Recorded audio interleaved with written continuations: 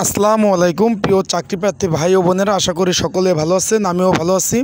অনেকে জানতে চাচ্ছেন যে ভাই যে সামনে যে এগারো তারিখ যে আপনার নিরাপত্তা পৌরি পরীক্ষা আছে, বাংলাদেশ বিদ্যুৎ উন্নয়ন বোর্ডের।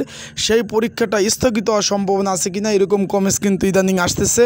আজকে সারাদিন আসারই কথা। যেহেতু আপনারা সকলে জানেন যে আট এবং নয় তারিখ মাদক দ্রব্য নিয়ন্ত্রণ অধিদপ্তরের সিপাহী পদের মাঠ হওয়ার কথা ছিল, সেটা কিন্তু স্থগিত আদেশ তারা প্রজ্ঞাপন জারি করছে। এরকম বিজ্ঞপ্তি কিন্তু পেয়েছেন। সেটা কি কারণে পেয়েছেন? বিগত ভিডিওতে আমি জানিয়েছি যে হরতাল যেহেতু আগামীকাল ছয়টা থেকে শুক্রবার পর্যন্ত হরতাল, তার কারণে দেশের পরিস্থিতি এখন ভয়াবহ অবস্থা।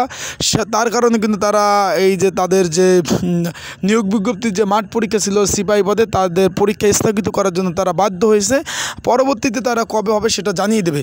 তার জন্য সবার মনে একটা আতঙ্ক যে, এগারো, দশ তারিখ আছে নিম্নবাদ হিসাব সহকারী পরীক্ষা এবং এগারো এগারো তারিখ আছে আপনার নিরাপত্তা পরি, পরীক্ষা। সেই ক্ষেত্রে অনেকে এখন কমেন্টস করতেছেন, ভাই আমি দোয়া করি যেন পরীক্ষাটা হয়। কারণ দীর্ঘ আট থেকে নয় মাস নিয়োগ বিজ্ঞপ্তির পরে কিন্তু এই পরীক্ষাটার জন্য তারা সময়সূচি নির্ধারণ করেছে, সেই ক্ষেত্রে যদি ভাই কোনো কারণে এটা পিছিয়ে যায় বা কোনো কারণে ফসকে যায়, সেক্ষেত্রে কিন্তু এই নিয়োগ পরীক্ষাটা নির্বাচনের পর ছাড়া আগে হবে না।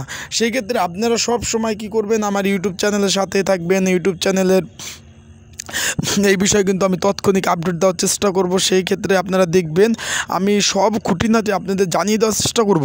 আর যেহেতু নিম্নমান সহকারী আর আপনার এই পরীক্ষা শুক্র শনিবার, সেই ক্ষেত্রে পরীক্ষাটা হতেও পারে। এছাড়াও কিন্তু আমি আগে আপনাদের বলেছি, যেহেতু বাংলাদেশের চৌষট্টি জেলার পরীক্ষা ঢাকাতে রাজধানীতে অবস্থিত হবে, সেক্ষেত্রে ওখান থেকে কিন্তু আসা যাওয়ার একটা রিস্ক থাকে। দূরপাল্লার গাড়ি যদি চলাচল না করে সেই ক্ষেত্রে কিন্তু আপনারা কীভাবে আসবেন সেই ক্ষেত্রেও কিন্তু তারা বিবেচনা করবে এবং আইস দুদিন আগে আসলে হোটেল থাকবেন, কীভাবে পুলিশের চেকপোস্ট থাকবে কীভাবে আপনি আসবেন, আসার পর কিন্তু পুলিশ আপনাদের চেক করবে।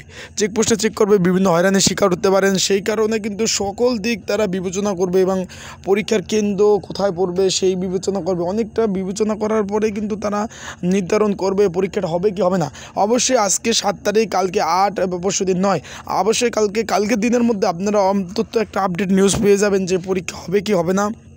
এবং হওয়ার সম্ভাবনা থাকবে কতটুকু, এই বিষয়ে কিন্তু তারা একটা আপডেট অবশ্যই দেবে। সেই ক্ষেত্রে আপনারা আমার ইউটিউব চ্যানেলে আপনারা নজর রাখবেন।